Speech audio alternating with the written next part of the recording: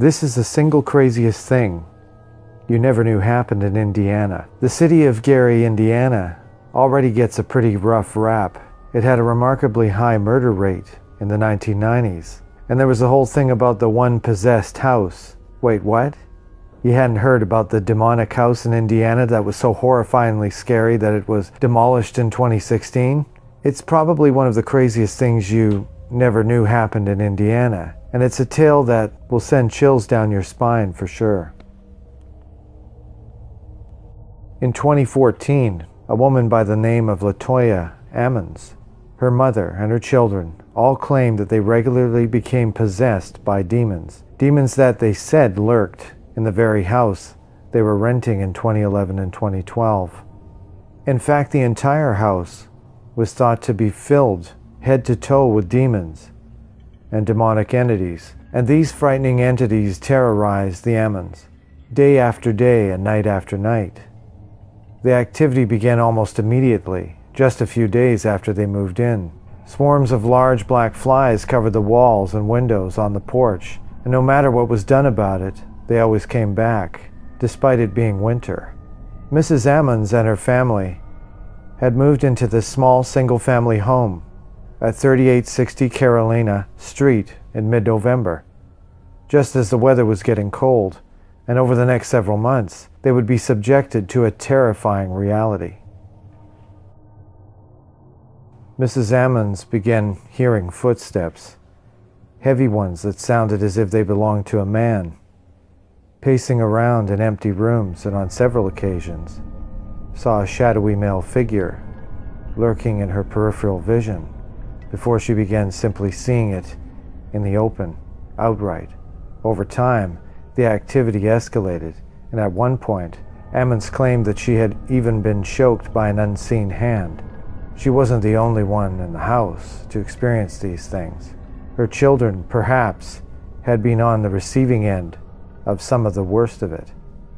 During a sleepover with a friend, Ammons' 12 year old daughter was seen to levitate above her bed, asleep, and didn't come down until after her terrified family surrounded the bed and prayed loudly. She never woke up during the incident, and when she woke the next morning, she was unaware that it had happened at all. Her family and her friend, however, were horrified. The entities' abuse of the children intensified when Ammons' young son was thrown across the room by unseen hands, and each child seemed to become possessed from time to time. A doctor who was called to the house and witnessed the behavior wrote it off as delusional, and police were called to ensure the safety of the children. Department of Child Services wrote it off as the children performing for their mother until someone from the office allegedly witnessed one of the children walking backward up a wall. Police Captain Charles Austin became a believer. He claimed that the things he'd seen were proof enough that the Ammonses were telling the truth.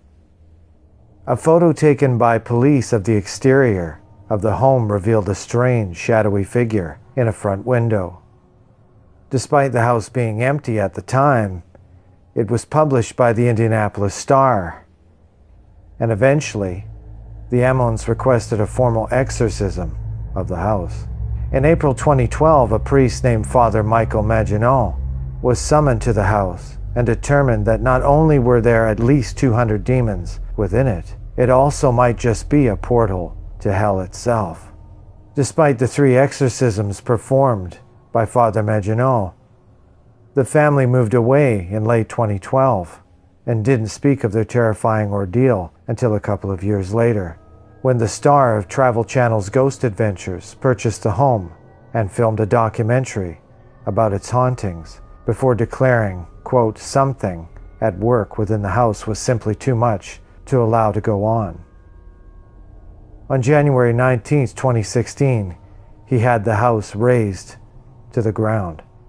What do you think? Was this Gary home truly inflicted with literal demons? Was the psychologist right and the entire fiasco was a result of hysteria? Have you ever experienced something terrifying that you couldn't explain?